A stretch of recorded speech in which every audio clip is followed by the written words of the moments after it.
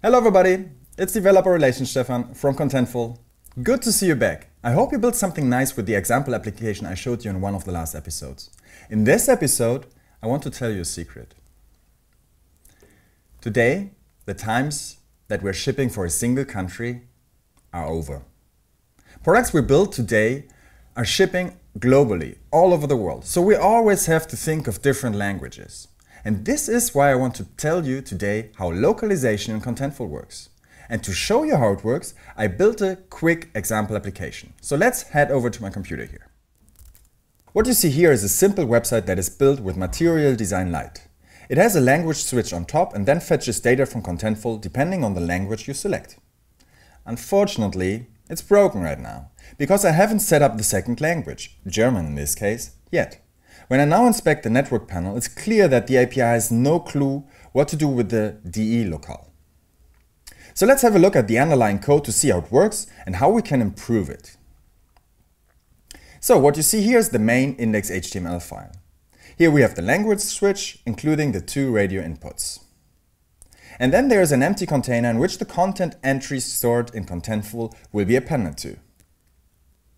The Contentful JavaScript SDK gets loaded at the end of the file, and I'm doing the whole magic in an inline script to not increase the complexity of this example. So what do we have here? The JavaScript SDK client is initialized with a given space ID and an access token. And the two important containers are selected from the DOM. In case you wonder why the dollar prefix is there, that's just from my old jQuery days, where I like to work with this prefix convention. Then there are three functions. Setup event handlers has the task to attach the event handler to the checkbox container to be notified whenever the language switch changes its state. And whenever this happens, Update UI is called. Looking at Update UI, you see that the default is currently US English. This function then fetches the certain entry from Contentful. It uses the getEntries function from the SDK client. You might wonder why I'm using getEntries and not getEntry. This has one main reason, and this is a Contentful pro tip. When you're dealing with references included in entry, you won't get the complete link or reference resolution when you call getEntry. The magic is only applied to the collection call. So, I made it already a personal habit to always use getEntries.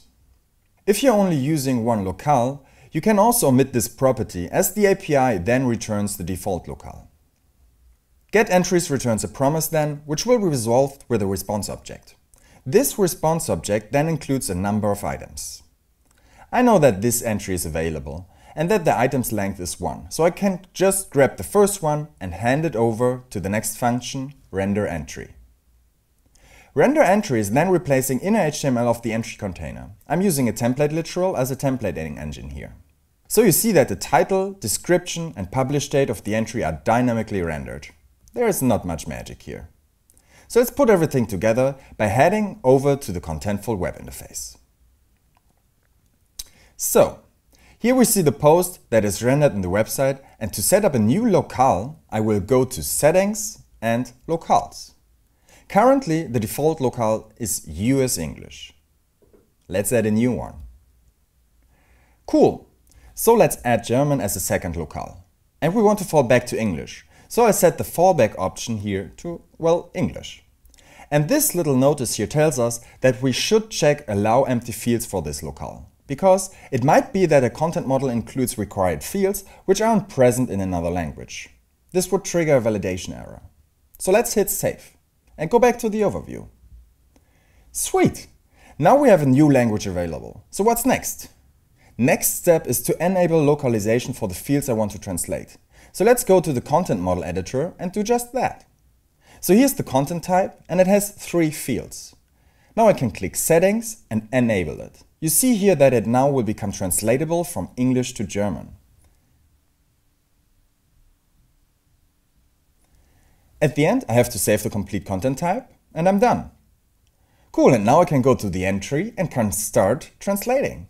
So here you see on the right side this translation section. It might be that I'm not interested in translating entries or only want to deal with one language, so I can configure the user interface here. In this case, I want to translate the entries from English to German. So I hit change and add German to be displayed in the interface. Nice. Now you see that the interface changed and every field now has two input elements. So let's start by translating the title. Thankfully, I'm fluent in German. On the road again becomes Wieder auf der Straße. Hit save. And let's see if this already works. As you see, I can now switch the languages inside of the website. And you see something else too. The description falls back to English and is not causing any errors. Great. So let's finish the translation. I'll quickly translate the description with Dies ist ein Artikel über mich und wie ich mit meinem Fahrrad die Welt bereiste. And now, well, I don't think I have to translate the publish date. So let's go back to the content model editor and disable the functionality for this field. I think this is really cool, because by disabling translation for certain fields, the UI stays uncluttered, and dates, or for example images, might not need to be translated at all. So let's disable the localization for the publish date again and hit save.